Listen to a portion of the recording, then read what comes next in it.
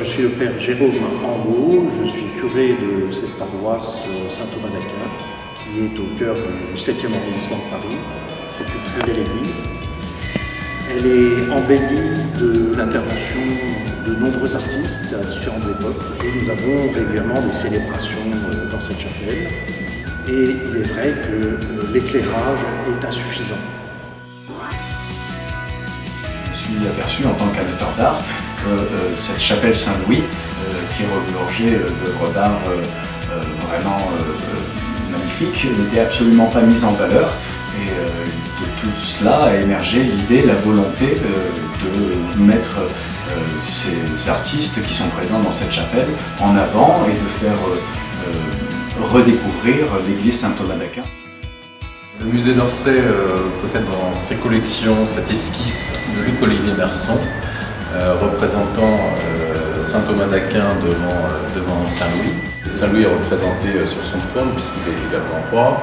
Il l'ange qui tient au-dessus la couronne d'épines puisque c'est Saint-Louis qui a la couronne d'épines et là, on voit Thomas d'Aquin à genoux qui lui présente son, église pour que Saint-Louis bénisse son église.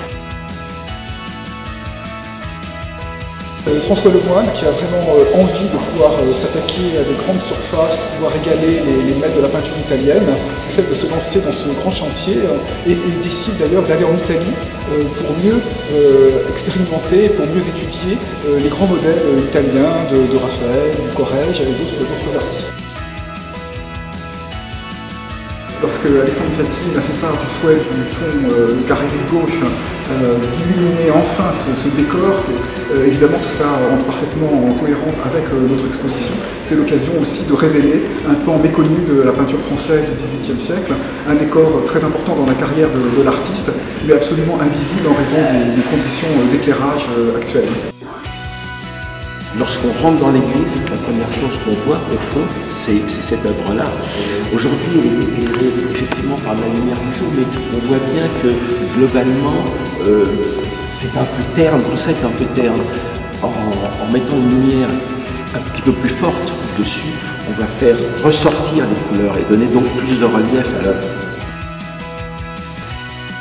Si j'ai un mot en tout cas à, donner futurs euh, mécènes qui viendront à nous aider, euh, déjà dans un premier temps c'est merci et puis c'est de les inviter à, venir découvrir les œuvres qui sont présentes, de nous aider à porter ce projet qui permettra d'être réalisé euh, seulement grâce à vous.